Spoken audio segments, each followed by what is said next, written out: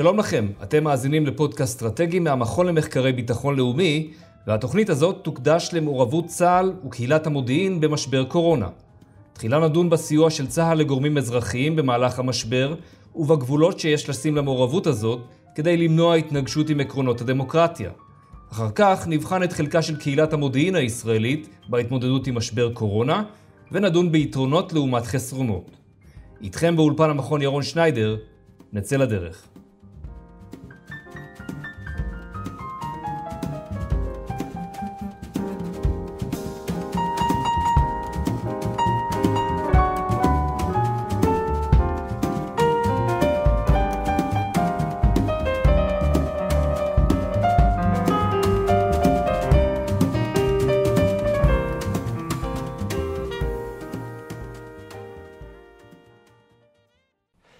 שלום רב לכם, אתם uh, מצטרפים אלינו לתוכנית נוספת של uh, פודקאסט אסטרטגי דרך uh, זום, והפעם נעסוק בסוגיית מעורבות הצבא בניהול משבר כגון משבר קורונה, שאנחנו עכשיו uh, כבר uh, נמצאים אולי uh, לקראת שלבי הסיום שלו, אבל בכל מקרה הנושא של מעורבות הצבא עלה כמה וכמה פעמים מאז uh, תחילת המשבר, עד כמה צריכה להיות לצבא uh, מעורבות ישירה אה, בניהול המשבר עצמו, בביצוע ההחלטות של הדרג המדיני, אה, מה היתרונות, האם יש חסרונות, וכמובן, אה, מה ההמלצות לגבי משברים עתידיים.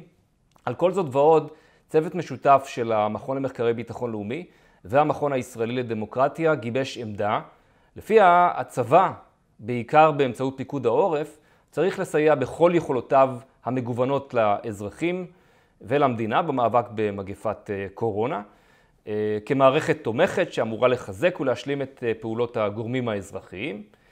נציין שהמחקר הזה הוא פרי שיתוף פעולה בין שני ענפים של מחקר במכונים הללו, יחסי צבא-חברה וגם משילות ודמוקרטיה.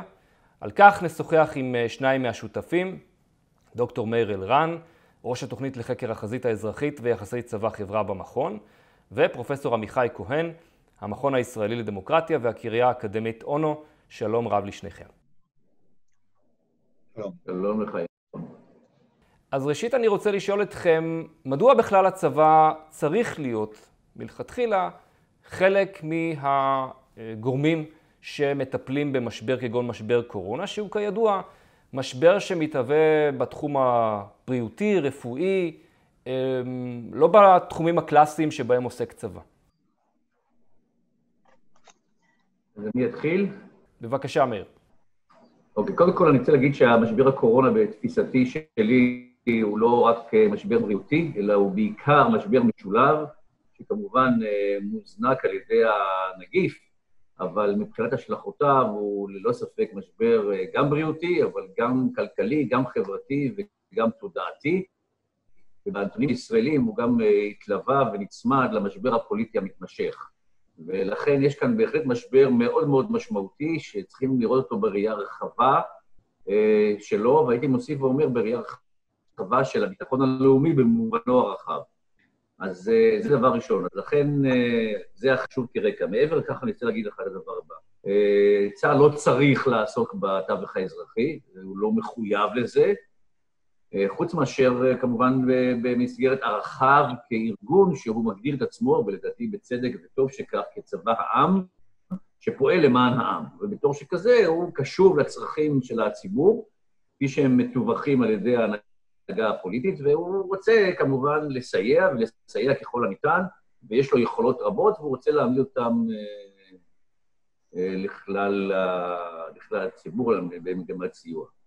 אנחנו נכנסנו לסוגיה הספציפית הזאת לא בגלל הדבר המובן מאליו הזה, שיש לנו צבא שהוא צבא העם שהוא מסייע לעם. זה דבר שהוא, נקרא לזה דבר טבעי. השאלה שנשאלה אצלנו היא, בעיקר התעוררה במלוא חריפותה, הייתי אומר, כאשר uh, התחילו לדבר uh, בזמן שהמשבר היה בשיאו והפחד היה רב, בגלל סיבות שונות שאנחנו מכירים את זה, אותם, אה, התחילו אנשים לדבר על העברת האחריות אה, לצה"ל בניהול המשבר הזה. גם בגלל האכזבה המסוימת, מוצדקת לא מוצדקת מהמערכות האזרחיות, אבל גם בגלל איזושהי נטייה טבעית אצלנו להסתכל על צה"ל ולחפש אותו כמושיע כאשר אנחנו נמצאים במצב של אתגר חריף. דווקא הפנייה הזאת לצה"ל, לקחת על עצמו אחריות, היא זו שעוררה את חששותינו והביא אותנו למעשה לעסוק בשאלה הזאת, שהיא לכאורה טריוויאלית והתשובה חיובית אליה, אבל למעשה היא איננה טריוויאלית והתשובה אליה הרבה יותר מורכבת. אז זה היה הרקע לחיבור בינינו לבין החבורה של החוקרים המצוינים במכון הישראלי לדמוקרטיה, וזה היה הרקע לעבודה ולנייה. ברור. עכשיו אני רוצה לשאול אותך, עמיחי, לגבי uh, היתרונות שצה"ל מביא לסיפור uh, של ניהול משבר, דוגמת משבר קורונה, וגם uh, בהיבטים המשפטיים של הנושא הזה, הרי זה לא רק עניין של uh, אדמיניסטרציה, של ניהול, אלא גם סוגיה שיש לה משמעות משפטית על כל מה שנוגע למעורבות של הצבא בניהול uh, עניין אזרחי.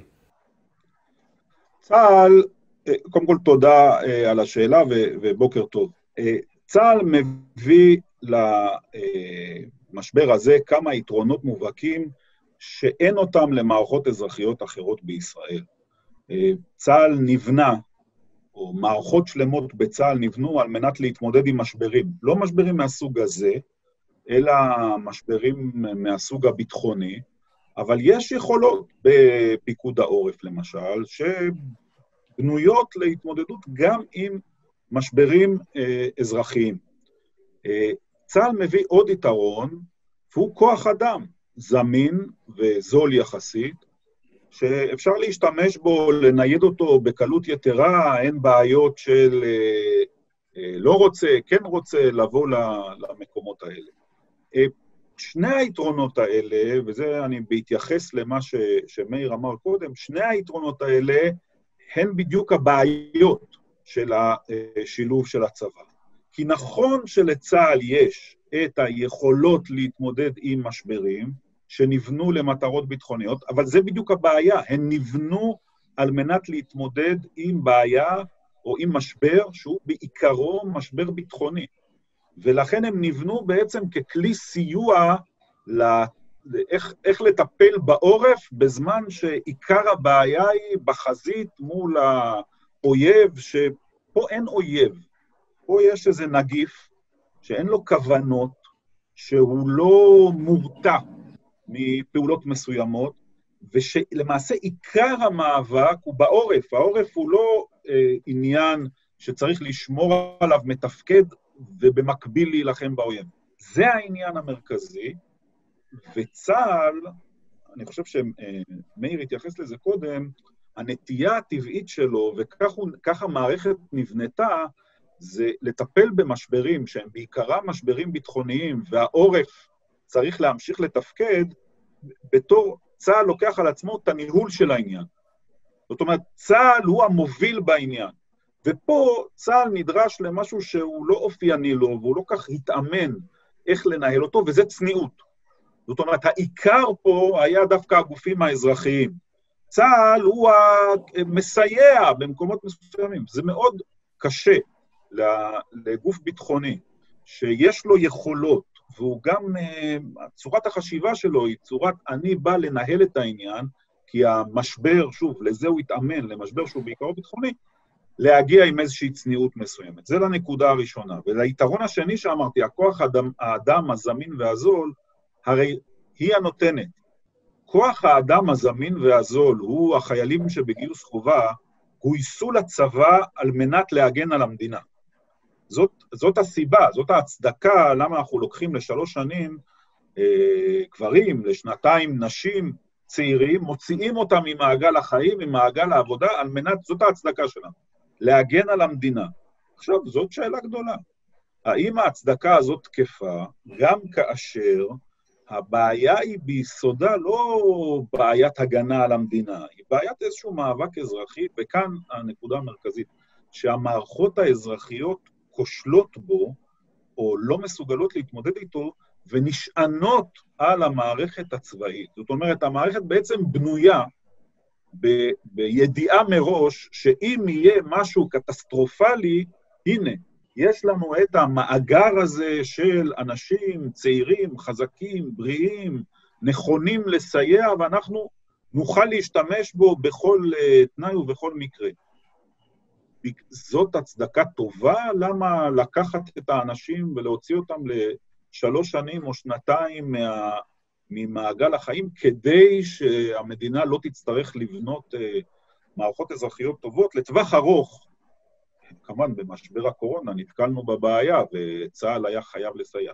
אבל לטווח הארוך גם זו שאלה שצריך, אה, אני חושב, לתת עליה. אנחנו נדבר עוד מעט על הטווח הארוך, אבל קודם אני רוצה לשאול אותך, מאיר, לגבי האופן שבו הדברים אה, אה, קרו במהלך אה, משבר קורונה עד כה, אה, מתוך איזה זווית של מעורבות הצבא נכנס, האם השתנו דברים תוך כדי תנועה, ועד כמה אפשר אה, להציג את הסיפור הזה כמודל אה, לטובת המקרים הבאים, שאם חלילה נצטרך, אז הצבא ישמש אותנו.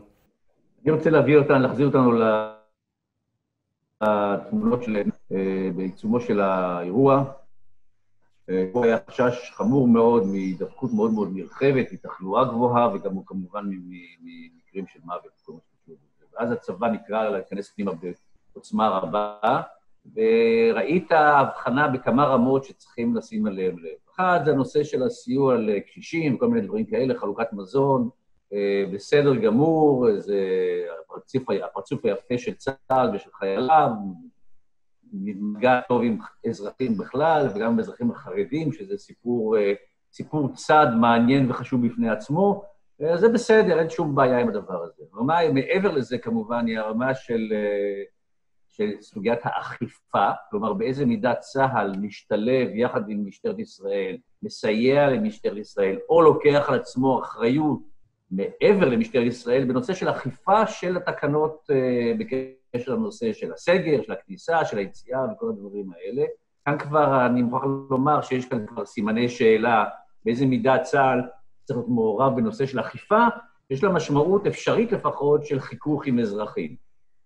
וזה עוד מילא, ואחר כך יש את הנושא של הרמה השלישית, והרמה השלישית היא שלא זה בלבד, שהיה חשש, שהקריא שם דברים, בסוף לא קרה הרבה, אבל היה חשש, ואז הזיזו במידה מסוימת את פיקוד העורף הצידה, והביאו במקומו את מפקד אוגדה 98, אוגדת החוד המשובחה של צה"ל, אוקיי, על מנת שהם ינהלו את האירוע הזה.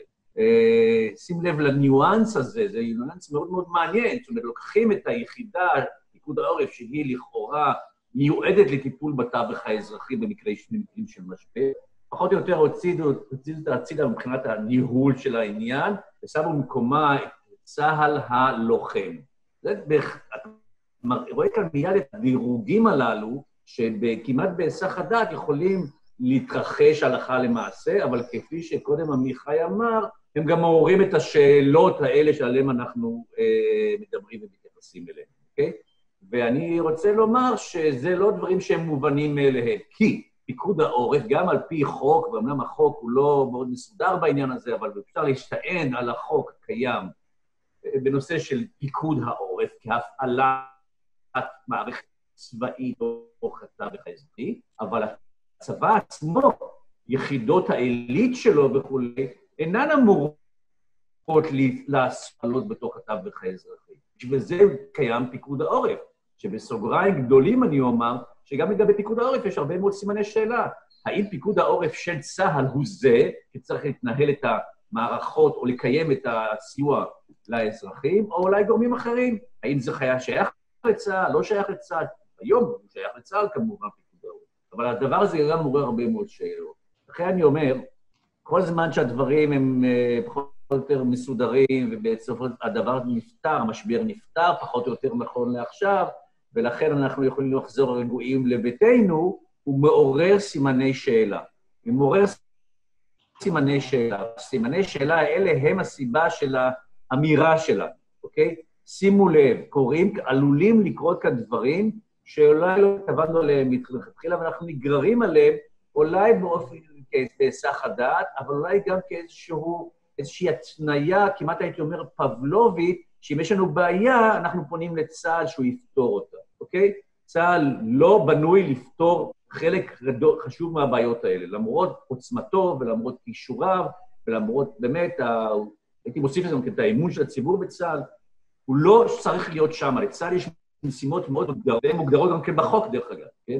לכן אני אומר, מה שקרה שם הוא בהחלט, אה, הייתי אומר, אה, לא קרה שום דבר גרוע, בשום פנים ואופן, קרו הרבה דברים טובים, אבל אה, אנחנו משתמשים באירוע הזה בתור לקח לעתיד, כי אנחנו צריכים להבין שאסונות קורים, אוקיי? ואני רוצה למשל לנפנף כאן בנושא של רעידת אדמה. היום לא מדברים על זה, צריכים לזכור שרעידת אדמה, לפי התרחישים הידועים, כן, עלולה לגרום לנזקים חמורים מאוד במדינת ישראל, כן? ושוב, אנחנו, אין לנו פתרון, מי, מי יעסוק שם בדברים האלה, כן? ומהם הלקחים שנלקחים מכל הסיפור הזה של האירוע, של הקורונה? וזה אוקיי. הדבר העיקרי שאנחנו מפנים אליו. צריכים לחשוב היום איך נערכים, אם וכאשר, ויקרו מקרים של משברים חמורים, אסונות המוניים, ומה יהיה תפקידו של צה"ל בעניין הזה, וזה בעצם תמציתו של המחקר הזה ושל הפרסום הזה אה, בראייה צופה פני עתיד. תודה. ועמיחי, אני רוצה לשאול אותך באמת לקראת אה, סיכום הדיון, אה, מה הלקחים העיקריים שאנחנו צריכים להפיק מהסיפור הזה לגבי היחסים בין הדרג האזרחי לדרג הצבאי, בניהול משבר שכזה, ובכלל, במסגרת הדמוקרטיה שלנו? אז אני באמת אקח פה נקודה שמאיר הזכיר אותה בחטף, ואני אנסה טיפה לפתח אותה בתשובה לשאלה שלך. צבא במדינה דמוקרטית זה יצור מורכב.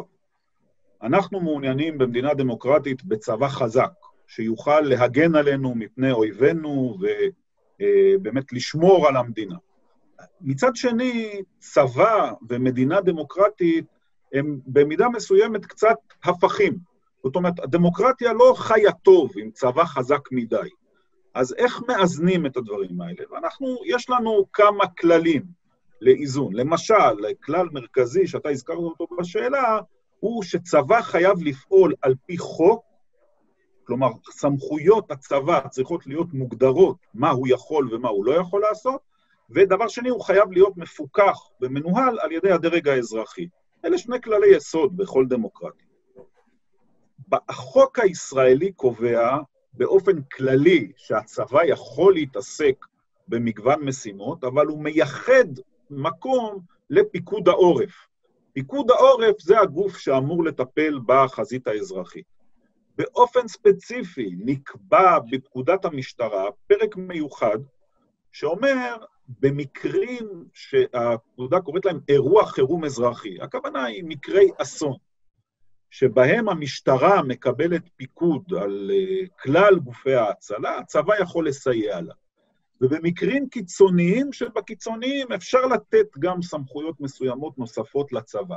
אבל כל זה חייב להיעשות בפיקוח מלא, הן של הממשלה, שבמקרה הזה כן הממשלה הייתה מעורבת, והן של למשל ועדת החוץ והביטחון. שצריכה לאשר את קיומו של אירוע חירום אזרחי ולפקח על כך שבאמת הצבא לא חורג מהגבולות שלו. וזה, למשל, כאן לא היה.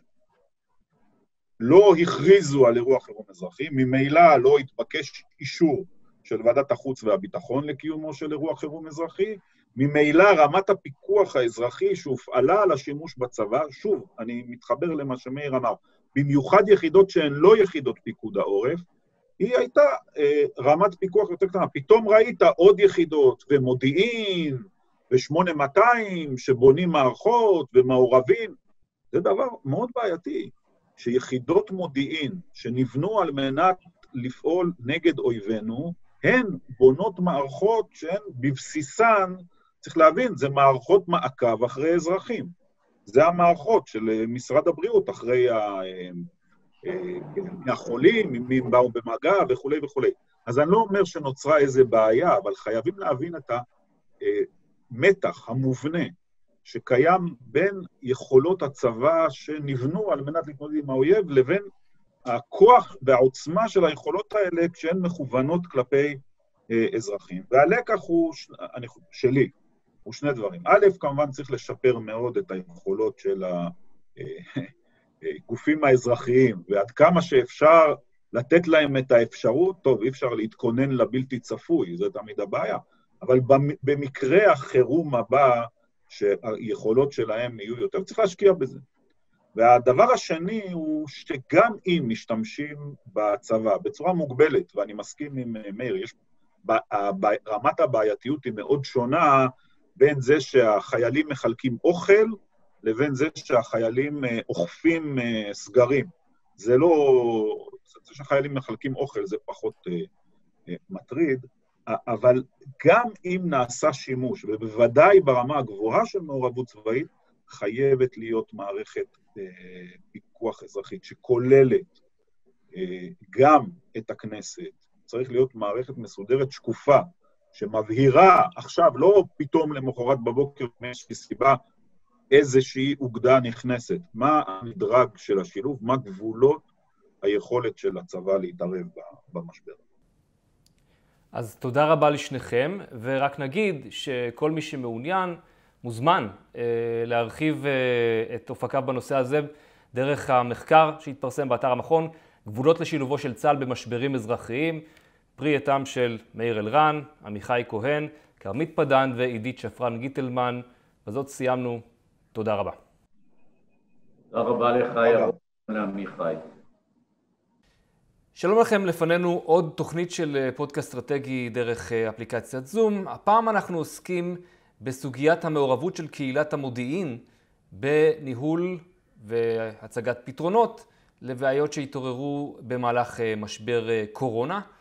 הסוגיה הזאת עלתה תוך כדי המשבר, למשל כאשר המוסד למודיעין ותפקידים מיוחדים היה מעורב בהשגת אמצעים אה, להתמודדות עם המגפה, אה, ועלה לדיונים גם בפורומים אה, ביטחוניים וציבוריים אחרים. על כל זאת אנחנו רוצים להרחיב עכשיו את היריעה באמצעות שניים מחוקרינו, שהם בעברם אנשי קהילת המודיעין. נדבר עם דודי סימנטוב, לשעבר איש קהילת המודיעין וכיום חוקר במכון בתוכנית ליפקין שחק, ביטחון לאומי ודמוקרטיה בעידן של פוסט-אמת ופייק ניוז.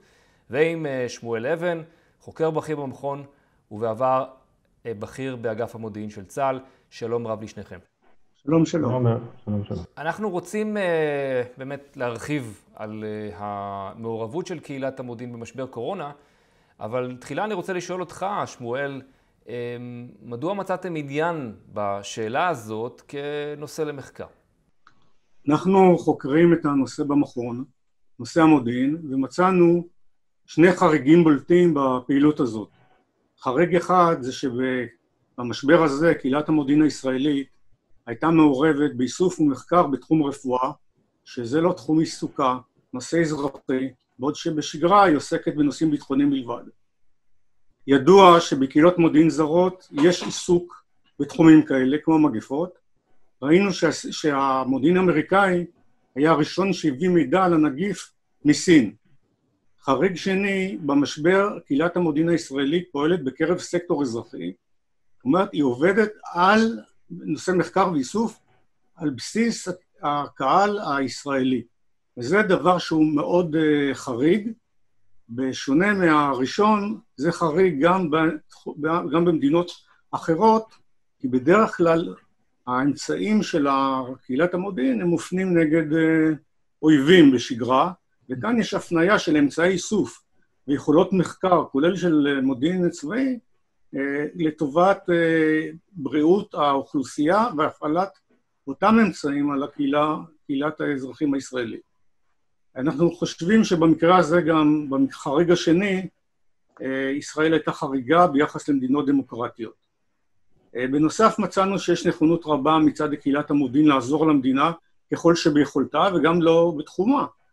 אה, זה קודם כל עזרה מבורכת שכולם מתגייסים למאמץ הלאומי, ובכל זאת אה, מדינת ישראל מוציאה המון כספים, מיליארדים, על קהילת המודיעין, ובהחלט יכולת של מדינה שחשבנו שמעניין לבדוק אותה. ומצאנו, וזו פה נקודה אולי הכי חשובה, שהפעילות הזאת הייתה לה רגישות, התקבלה ברגשות מעורבים בקהל. מצד אחד הייתה הסכמה שמדובר בעשייה חיונית והכרחית, מצד שני, לרבים זה הפריע שיש חדירה לפרטיות ופעילות שלא תואמת אה, משטרים דמוקרטיים. במצב הזה ראינו צורך למפות את היתרונות ואת החסרונות אה, של הפעילות הזאת, וגם לחשוב על איזה שהם מנגוני בקרה חזקים, כדי שגם אפשר יהיה ליהנות מהפעילות הזאת, אבל גם הפעילות הזאת לא תחרוג מעבר לממדים ש... שעשויים לסכן פעילות דמוקרטית או ליצור דימוי כזה בציבור. זה ברור. דודי, אני רוצה לשאול אותך עכשיו אה, לגבי הפעולות העיקריות שנקטה קהילת המודיעין במהלך המשבר האחרון. אם תוכל לתת לנו איזושהי כרוניקה או פשוט אה, אה, איזה לוח זמנים שלפיו הדברים האלה התנהלו מרגע שהמשבר פרץ ועד לנקודת הזמן הנוכחי, וכמובן מי הגופים, איזה מכלולים של קהילת המודיעין אה, מעורבים ובאיזה אופן. כן, אז באמת קהילת המודיעין כולה, גם אגף המודיעין של צה"ל, גם השב"כ וגם המוסד, נרתמו לסייע במשבר, גם בתחומים שהם לכאורה מפתיעים.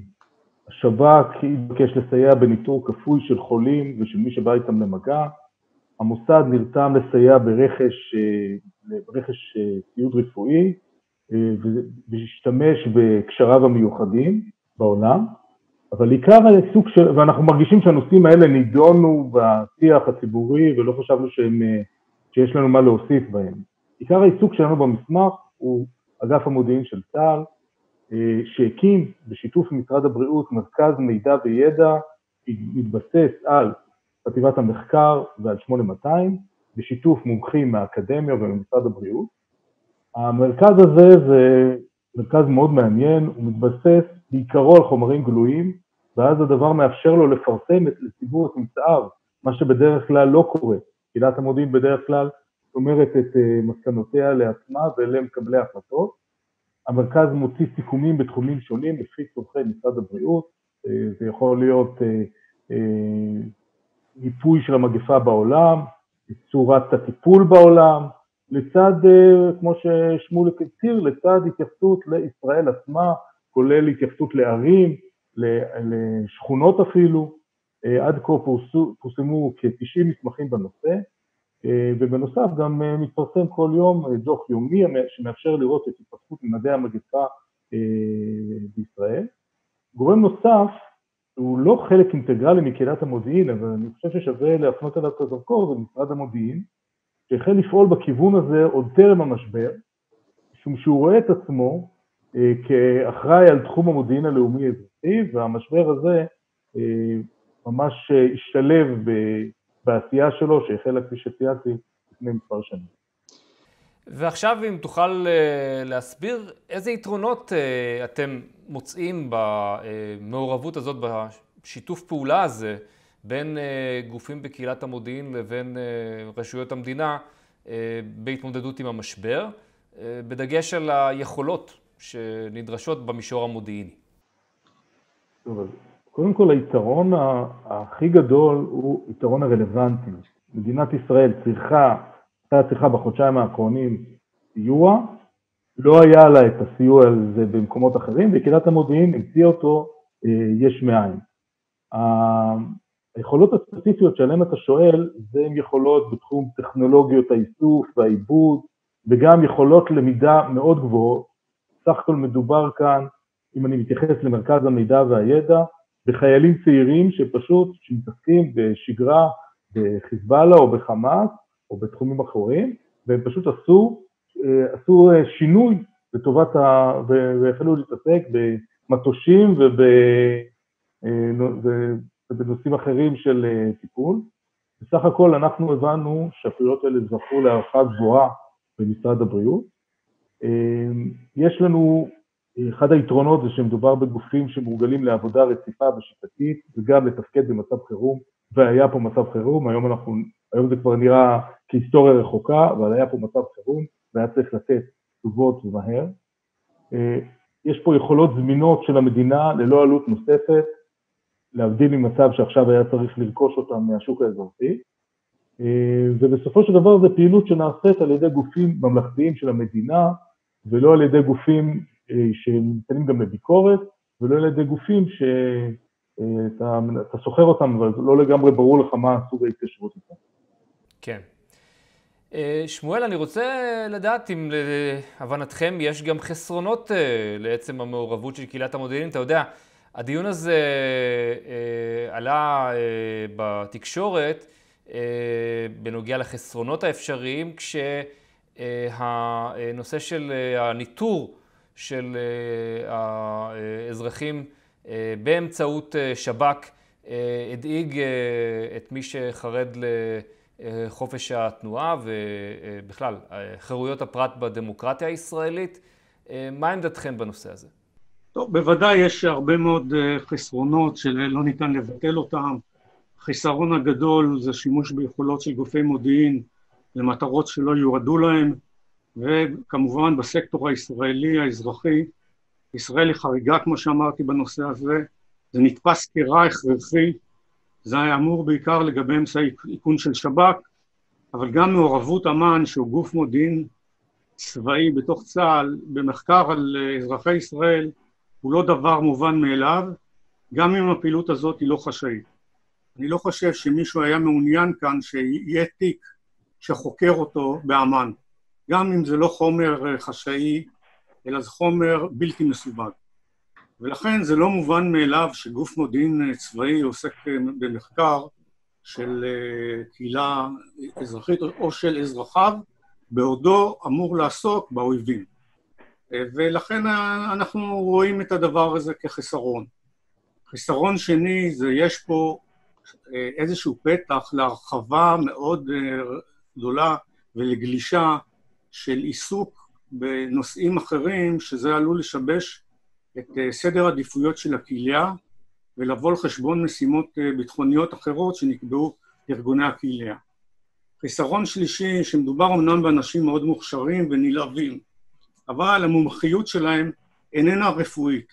וכשאתה מכניס אנשים כאלה לצוותים, והם מתחילים לקרוא טקסטים רפואיים, והם מנסים להביע דעה, יש כאן איזשהו קושי, מוכשרים ככל שיהיו, שהאנשים האלה יתעסקו בתחום הזה, וכאשר יש צוותים ומעורבבים, כבר קשה להגיד מי המומחה הרפואי ומי הבן אדם שנותן חוות דעת שהיא דעתו, אבל הוא לא, הוא לא אה, ממש מקצוען בתחום הרפואי.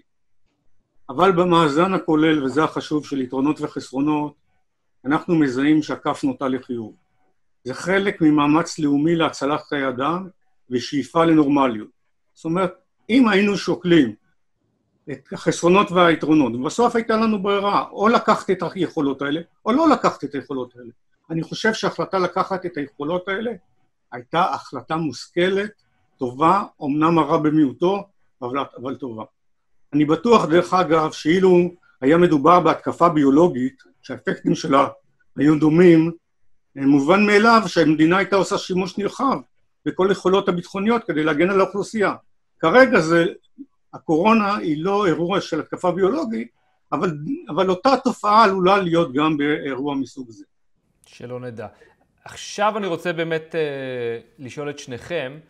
אה, רק רגע, אני, יש לי עוד נקודה מאוד חשובה שרציתי להגיד, והנה מנגנוני הבקרה. חייבים, השיטה הזאת של צווים מהירים וכן הלאה, היא שיטה בעייתית. צריך לעבוד ולהקים מנגנוני בקרה הדוקים.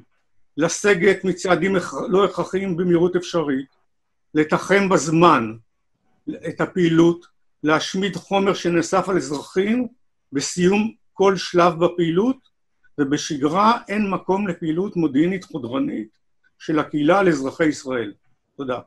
כמובן, זה האיזון הנדרש. עכשיו אני רוצה לשאול אתכם לגבי התרומה לאו דווקא במקרה כזה של משבר, אלא בשגרה, אתה סיימת את דבריך, שמואל, אה, בהקשר הזה. אני רוצה לשאול אותך, דודי, אה, האם אנחנו יכולים ללמוד מהמשבר שחווינו, מהמעורבות של קהילת המודיעין בו, אה, לגבי תפקידים שבהם היא יכולה לסייע למדינה לתפקד, להתמודד עם אתגרים שונים, לאו דווקא במישור הצבאי-ביטחוני פר אקסלנס?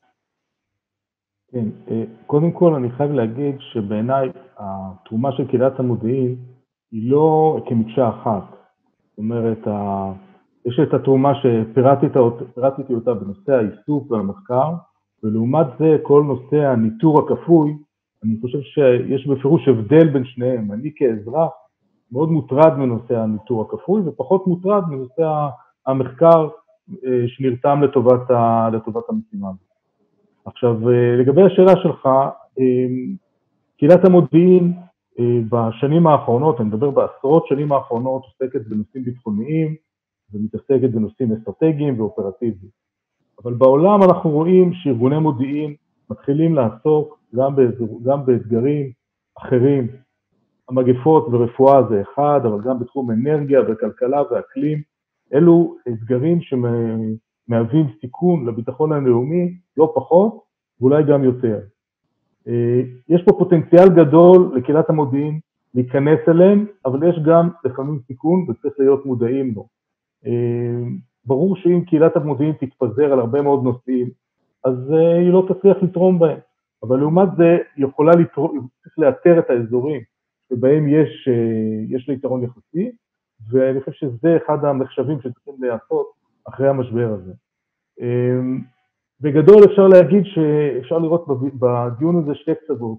מצד אחד, את, מצד אחד אמירה שכדאי ונכון להרחיב מאוד את קהילת המודיעין ואת העיסוק שלה, גם לסוגיות של מודיעין לאומי אזרחי, להתייחס למודיעין לאומי במובן הרחב שלו, ומצד שני אמירה שאומרת רק בעת משבר, וזה לא חשוב כרגע אם זה משבר מגפה או רעידת אדמה או אקלים. אני חושב ששתי קצוות האלה, בתוך, ביניהם יש הרבה מאוד אפשרויות וצבעים. יכול להיות שחלק מהמשימות, קהילת המודיעין צריכה להתעסק, להתעסק גם בשגרה, וכנראה בחלק מהם היא צריכה להתרחק מהם. אמ, יש גם אפשרות לשיתוף של משרדי הממשלה, שהם יכולים להוות חלק מהמענה, ובמידה וקהילת המודיעין לא, לא תיכנס לא תיכנס לכך, והזכרתי את משרד המודיעין אה, יכול, יכול להוות אה, פתרון לחלק מהדברים. דבר נוסף אה, זה סיוע בטכנולוגיית מידע וביכולות ובגישות שמאוד מתפתחים בקהילת המודיעין וגם בנושא הזה שהוא לכאורה נושא, נושא כולל, גם בנושא הזה קהילת המודיעין יכולה לסייע למשרדי הממשלה בפיתוח של הידע שלהם. בסופו של דבר אני חושב ש... כמעט אין לי ספק שסוגיה של מגפות תיכנס, כי זה טראומה, מה שקרה פה בשנים, בחודשים האחרונות, בחודשים האחרונים, ונושאים אה, אחרים, לפחות אני יודע שהם נמצאים על הפרק, הם נמצאים על סדר היום, ונדרש לגביהם אה, לבצע מחשב, בשיתוף של קהילת המודיעין, של גופים נוספים. כן, אה, שמואל? אני לא אחזור על מה שאמר דודי, אני אגיד דבר כזה. פרמטר אחד זה מה שקורה בקהילות מערביות. קהילות מערביות מבינות שביטחון לאומי זה לא רק ספירת טנקים, זה נושא רחב שיהיה קשור לביטחון אנרגיה, ביטחון מזון, ביטחון רפואי, ביטח... ועוד שורה ארוכה של דברים שהם לא בדיוק ברובד הזה. מה שקרה לנו, דרך אגב, בעשור האחרון, ההפתעות היו דווקא לא מהטנקים, ההפתעות היו מהאביב הערבי, שהתחיל בשוליים שבשוליים, תופעה חברתית בתוניסיה וגלש, ההפתעות זה, ההפתעה זה הקורונה, ועוד כל מיני אירועים כאלה שהיו לנו שהם לא פרופר בתחום הביטחוני הצבאי.